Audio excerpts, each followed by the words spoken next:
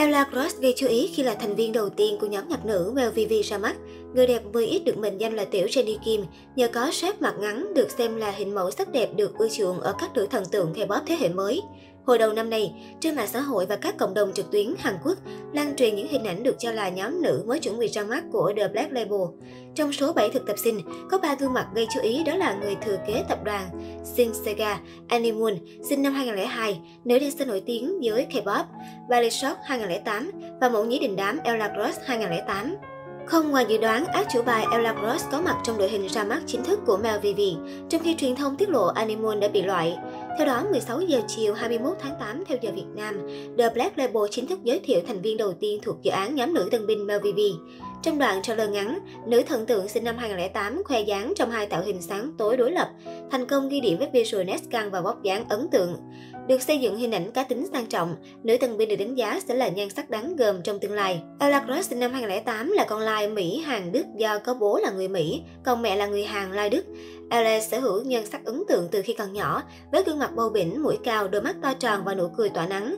Nữ thần tượng bắt đầu sự nghiệp mẫu nhí năm 2 tuổi, khi nhận được lời mời của tạp chí Mỹ nhờ vẻ ngoài đáng yêu. Tuy nhiên, bố mẹ của Ella mong muốn con được lớn lên bình thường như bao đứa trẻ khác, nên sự nghiệp làm mẫu của Ella đã phải tạm hoãn lại khi cô vào mẫu giáo. Mà đến khi Ella 6-7 tuổi, bố mẹ mới cho cô quay trở lại công việc làm người mẫu. Cô cũng ra mắt với tư cách diễn viên nhí thông qua bộ phim truyền hình Headers 2018 và một số phim khác. Hiện Ella là gương mặt có tầm ảnh hưởng trên mạng xã hội với tài khoản Instagram hơn 4 triệu người theo dõi. Với những fan K-pop, Ella Cross không còn là gương mặt xa lạ. Trước khi trở thành thực tập sinh, cô nàng là mẫu nhí chuyên nghiệp. Ella từng ghi dấu ấn qua hàng loạt ấn phẩm thời trang và sàn Catwalk. Năm 2018, Ella Cross gia nhập The Black Label, dấn thân vào con đường trở thành thần tượng khi chỉ mới 10 tuổi. Tính đến nay, cô đã có 6 năm thực tập. Ella Cross được đánh giá là một tài năng triển vọng khi có thể hát và chơi nhạc cụ thuần thục.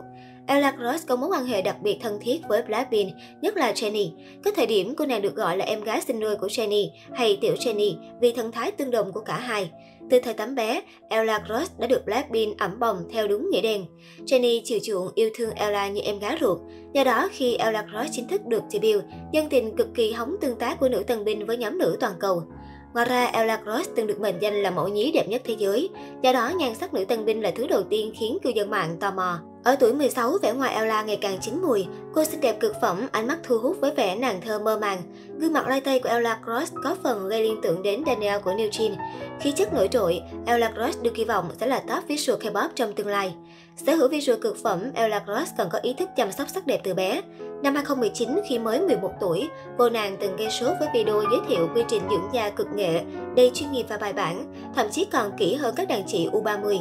Đặc biệt, tổng giá trị bộ skincare của Ella lên đến 28 triệu đồng với 15 loại khác nhau.